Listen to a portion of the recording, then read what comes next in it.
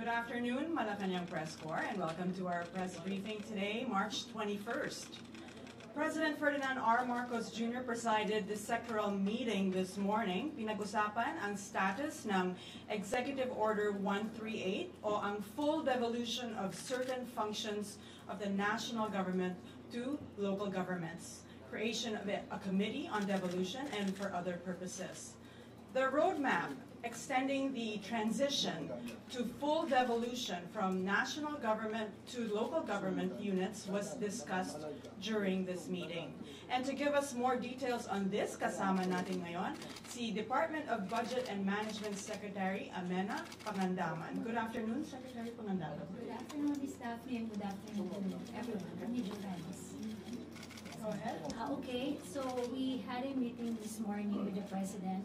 Uh, I'm sure you all know about the full devolution as a result of the uh, Supreme Court decision, the Garcia Mandanas um, Supreme Court decision case, which um, with that, in 2019, the previous administration prepared an executive order, it's Executive Order 138, which says that uh, we have a uh, transition period until 2024 to fully um, to fully um, before we fully uh, implement the devolution of projects and programs to the local government units. Uh, when uh, when the PBBM administration took office, uh, meron pong mga issues na naparating po sa atin ang ating mga kaibigan sa LGUs na I think uh, marami po sa kanila ang hindi pa po prepared para sa tinatawag nating full devolution. So with that, meron po tayong tinatawag na in, in EO 138, meron pong committee uh, committee on development which the members are it's chaired by DBM. Ang members po dyan ay DOF, we have DILG, and we have NEDA, and we usually consult with our League of Municipalities, yung mga um, groups natin with the governors and city mayors and uh, our barangays. So, um, nung sinabi po sa atin ng ating mga LGUs na hindi pa po nila kaya, even given that we're giving them enough funding as a result of the Madanas case nga po, hindi po nila kaya implement yung mga ibang projects po na medyo yung tinatawag po natin mga big ticket and high impact projects po. So what we did po is uh, the President asked us to study this and maybe make an amendment po sa ating EO 138. So kanina po, napag-usapan po namin yan together with, um, we have the League of Municipalities there, and we have si Governor uh, Dax was also there present. And we decided po, and then the President po gave an instruction to further study the responsibilities, projects, and programs na kaya po gawin ng mga LGUs at ang iiwan po natin sa national government. Kasi po, dahil po dun sa Mandanas case po, lahat po ng mga programa as provided for under our local government code, eh dapat po ipaubaya na po natin sa local government units. So, with our meeting this morning, uh, we were tasked again uh, by the President to sit and study the projects and programs po na iiwan natin sa national government kasi national government lang po ang may kayang gawin itong mga proyekto na to. At kung ano po ang mga proyekto naman na i-devolve natin sa ating mga local government, local government units po. Yan po. Okay, thank you, Secretary. Are there any questions from the floor? Maurice Umali, GMA 7. Secretary, uh, good afternoon and belated happy birthday, Daphne. Oh, thank you. Um, Ma'am, uh, may we just know what exactly were the reasons of the LGUs why they cannot implement fully the programs that are supposed to be implemented by them? Um, as you know po, iba-iba po ang level ng capacity ng ating mga local government units. Of course, yung mga nasa cities po, medyo advanced and developed na rin po yan. And then, because they have enough funding, meron na rin po silang enough manpower to implement the projects. But there are LGUs po that we know that are really lagging po. Hindi po nila kayang i-implement yung mga project kasi kulang po ang kanilang technical uh, expertise and capacity to implement those projects. For example po, ah, nakalagay po sa ating local government code, eh, pati po yung kunyari, a national irrigation system. I think a small water impounding system can be implemented by, by an LGU, but I don't think they can implement a big irrigation system project. Plus the fact po na ang irrigation project is usually uh, transverse am- among different areas po. No? So may mga ganun po, may mga proyekto po na sobrang laki na talagang at saka kailangan po ng technical capacity and expertise po ng mga tao sa LGUs to prepare and plan po properly and efficiently yung mga projects. Uh, so you mentioned a while ago that since uh, the local government units will not be able to implement these programs just yet, so it's going to be the national government who normally uh, implements these projects. Uh, they'll be the ones to continue these projects. But um, considering that they are expecting the LGUs, that the, the activities or the programs and the projects will be devolved to the uh, LGUs already, and they are expecting that uh, the, the LGUs will be focusing on these projects already. Will this affect, will this have an impact on the national government's uh, implementation of these programs or not, not, not at Ah, all? wala naman po. What's important is um, yung EO 138 natin, binigyan po tayo ng enough time to transition until 2024 po to help these lagging and small LGUs uh, to cope and para po matuto sila. Ah, may budget po ang nas ang different departments po for 2022 eh for 2023 to help them to capacitate them. May budget po ang DILG to work on uh, seminars and workshops to help them. Meron din pong capacity building ang Department of Finance on how to utilize their budgets. Ang DBM po on procurement processes para po uh, ma-procure nila na maaga at ma-implement po na maaga yung kanilang mga proyekto. And NEDA din po, nandiyan din po ang NEDA to help them uh, to help them yung pag-identify mo ng projects, eh, it's in adherence with the Philippine Development Plan. May we know, Secretary, how many LGUs uh, are not capable to implement these uh, projects just yet? And in other words po ba, parang wala rin namang magiging problema kasi for these LGUs which will not be able to implement those projects uh, as, as of uh, just yet, then it will just be status quo. Tama, tama po ba? Yes, but there are also you have to also think that there are also LGUs, especially those who are those who are in the higher income status, yung mga cities, and ano, nakayag naman po nila mag ah, mag-implement. Ang tututukan po sana natin dito ay yung mga fourth, fifth class municipalities. There are roughly 450 450 of them. Uh, that's why in our EO 138 that was signed previously, meron po diyang, uh, sa section 8 po ng EO, meron po diyang tinatawag na Growth Equity Fund. Yung Growth Equity Fund po is uh, pondo na ibibigay natin sa kanila. On top po to sa lahat ng uh, capacity building that the national government is providing. Yung pondo po yun para po matulungan sila kung paano po gumawa ng proyekto, kung paano magplano, tsaka mabigyan sila ng additional projects po para maka at least they can cope with the with those that are already advanced and developed. Sorry, ma'am, one last. Um, how exactly will the ruling, just enlighten us, how exactly will the ruling, uh, the Mandanas ruling, affect the fiscal situation of the national government? Um, basically po, I have the numbers here. So the LGUs will will receive an increase of 185 billion pesos. That's in 20, uh, 22 as a result of all taxes in the determination of just share of LGUs with a total NPA shares amounting to 959.04. Meaning 185 billion po ang matatanggal sa national government po at ibibigay po natin sa LGUs. For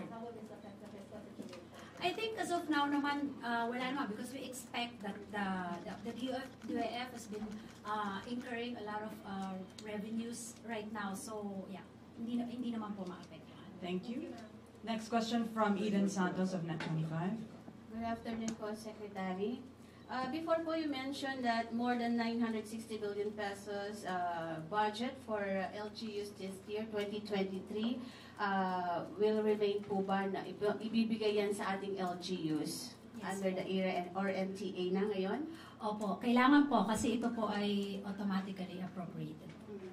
Uh, with this budget po ba, kakayanin na ng ating LGUs na makapag, uh, ga- pa- makapagpagawa ng mga proyekto na masasabi natin hindi na po kailangan ng uh, national government assistance? And ano-ano po ba, aside dun sa nabanggit ninyong small water impounding na kaya po nilang uh, ipagawa para sa kanilang uh, mga lugar na hindi na po kailangan gastusan pa ng national government?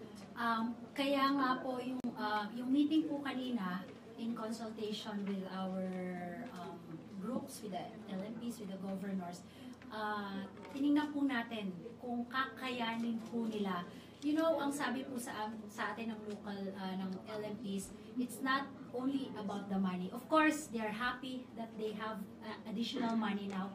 But sila din po, iniisip din po nila, how will they use the money properly utilize it and implement it. Siyempre, pag ma- mag- may programa po tayo, tapos makita po ng mga kababayan natin na nangyayari po yung mga pro- programa at saka yung mga proyekto, it will be, mas masaya po sila na ganun yung mangyayari, di po ba? So, I think uh, from their end, they're, they also welcome po yung meeting kanina, yung result ng meeting kanina, that we will still, again, uh, sit down and identify specifically po ano ang mga proyekto na kaya ng national government at saka ng local government units, ano ang kaya ng provinces, ano yung pwede sa provinces, ano yung pwede sa municipality, ano ang pwede sa cities, at ano ang pwede sa mga barangays. Kabilang po ba, follow up lang, kabilang po ba dyan yung mga ah, barangay health center, bar- barangay hall, mga ganun po? Yung mga maliliit pong ganyan, if, if we look at our local government code, talaga pong sa, sa kanila na yan eh, di ba? Meron po silang mga local funds na talagang ginagamit nila sa mga ganyang klaseng ah, programa po. Yung mga ganyan po, mga kaya na po nila yan. Talagang hindi lang po talaga nila kaya.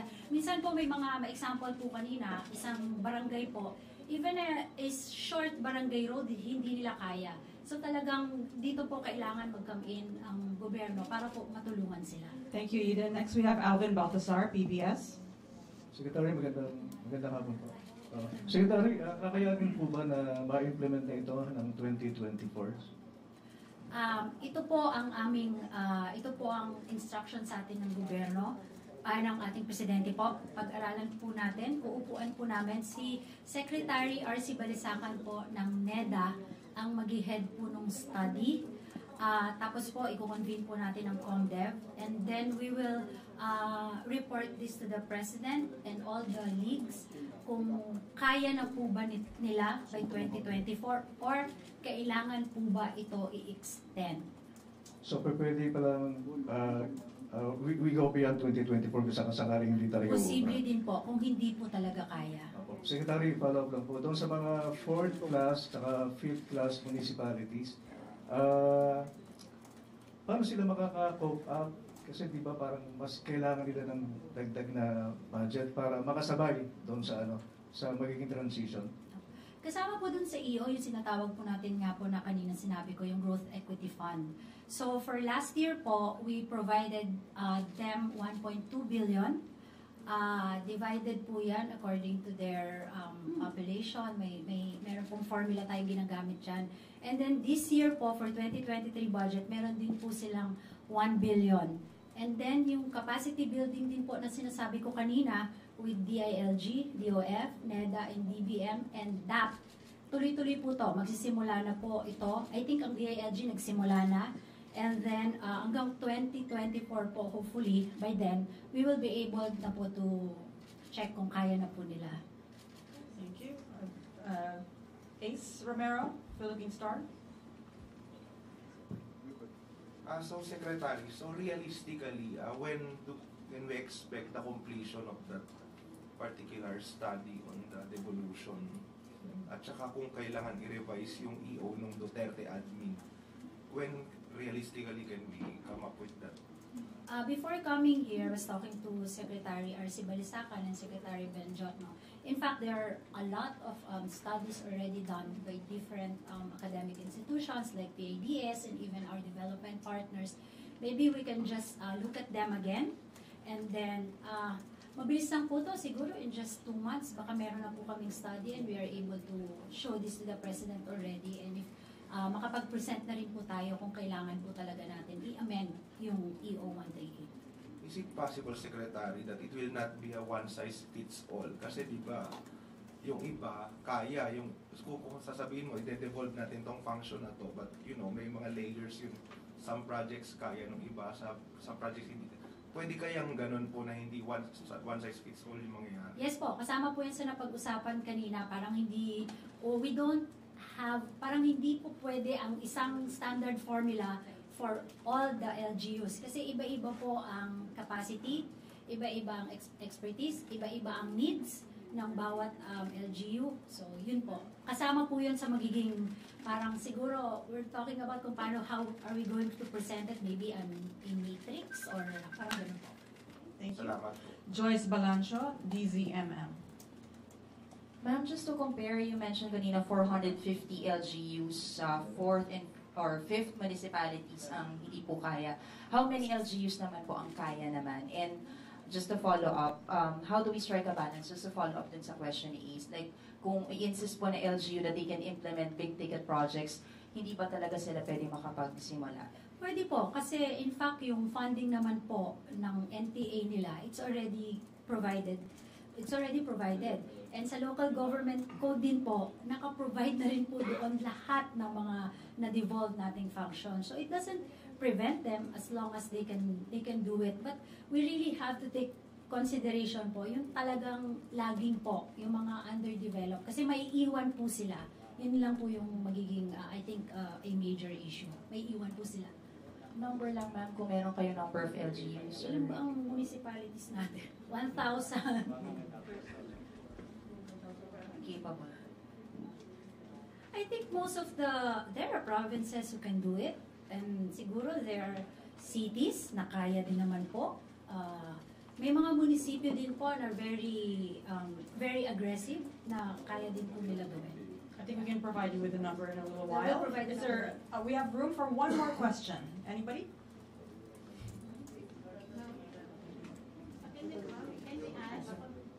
Chona Yu, Inquirer Radio. Ma'am, what are the safeguards that the government or the national government will implement to ensure na hindi siya mauuwi sa corruption kapag ka LGUs na humawak? I think there, there are enough safeguards that, that we have we have now.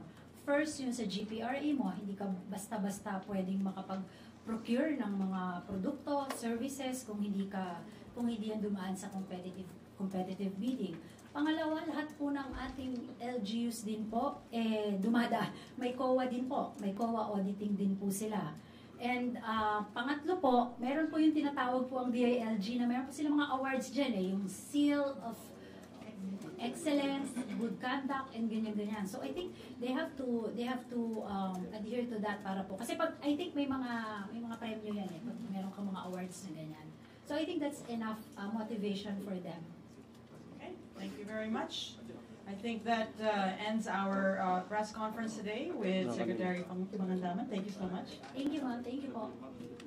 Thank you, Malacanang Press Corps. Have a good afternoon.